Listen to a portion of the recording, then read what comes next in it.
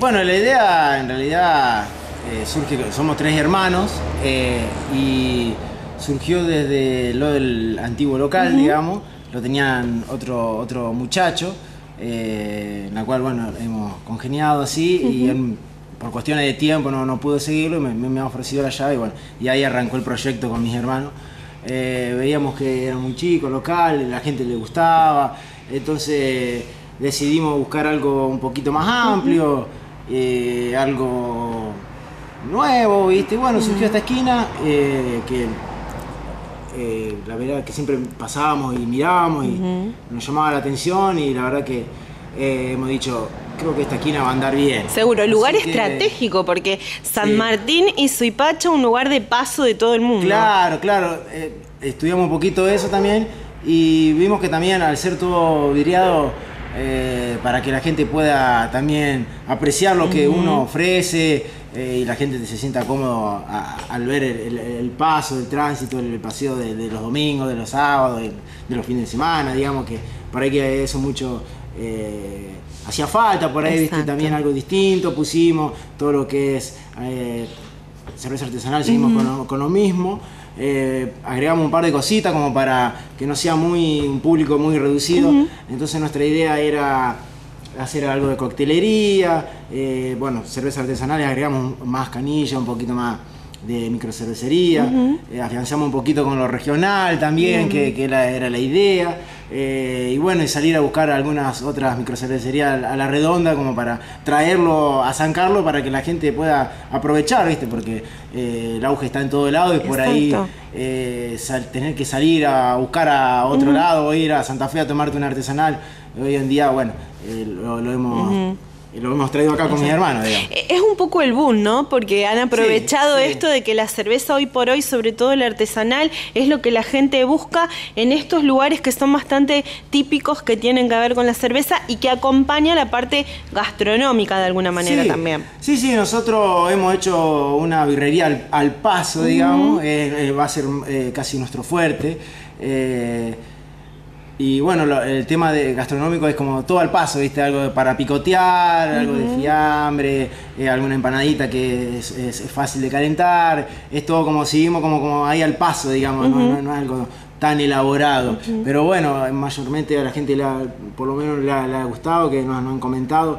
Y esa es la idea, digamos, es algo eh, que sea de, de paso. También seguimos con las recargas, que, que eso tenemos en botellones de plástico, de un litro, de dos, de vidrio también, para aquellos que, le gusta más el vidrio.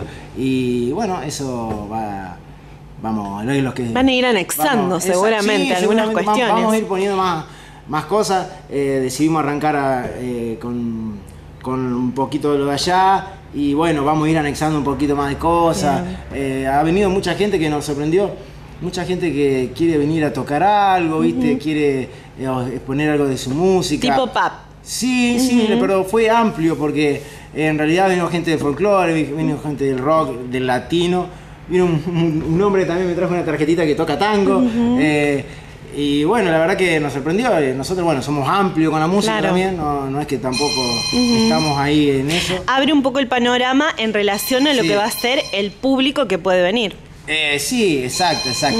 Eh, así que, bueno, digamos, eh, es para, para, todo, para todo público, digamos. Exacto. Eh, ¿Qué días ustedes van a tener abierto? Mirá, ahora por el momento eh, vamos a tener entre miércoles y hasta domingo.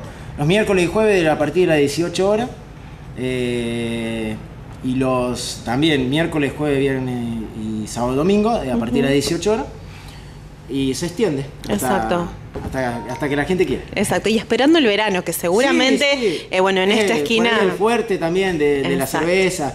eh, igual hoy en día hay, en el tema de artesanal, hay amplio, tanto como para invierno, también tenemos ahí, siempre hay algo para poner en invierno. eh, que vienen cervezas hoy en día para invierno y bueno, vamos poniendo de todo un poco. Seguramente. Bueno, y la respuesta de la gente hasta ahora ha sido muy buena. Bueno, me alegro, eso, eso es bueno. Seguro. La verdad que eh, me alegro, me alegro que sea así, me alegro que sea así. Sí, en realidad, como eh, arrancamos con mi hermano y, y no pensábamos que iba a ser tan así, la verdad que se- eh, arrancamos y no, creíamos que iba a ser tan grande. Cuando nos metimos ya dentro del local y empezamos a trabajarlo y veíamos, uy, esto es grande, decíamos. Y teníamos, nos dimos cuenta que tuvimos que agregar más cositas, más un poquito más de barrita, más silla. Eh, eh, quisimos que sea amplio, cómodo, ¿viste? Tampoco creo, ¿viste? Pero bueno, eso con el tiempo lo vamos a ir. También faltan un par de cositas de pulir todavía, pero, pero bueno, somos nuevos, los tres somos nuevos en el tema de en el rubro así de, tipo bar o pub o de, pinta al paso, recarga, coctelería también, viste, algo que también estuve viendo. No lo manejo yo, por suerte, digamos, lo manejo otra chica que tiene especialidad en eso, así que la idea es ir aprendiendo también, eh, que no tengan paciencia, que por ahí... Pero bueno, todo de corazón y, con esfuerzo eh, pudimos lograr, digamos, esta, esta esquina. Exacto.